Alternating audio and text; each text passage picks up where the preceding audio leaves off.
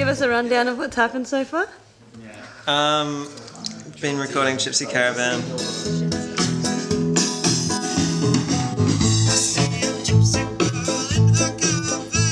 Look, it's just been a good day all around, you know. We've had a bit of a party, It has been. laid down a few tracks.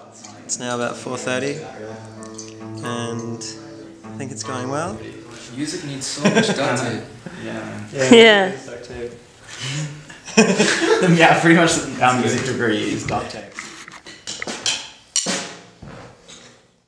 What is it? Why is it red? I don't know.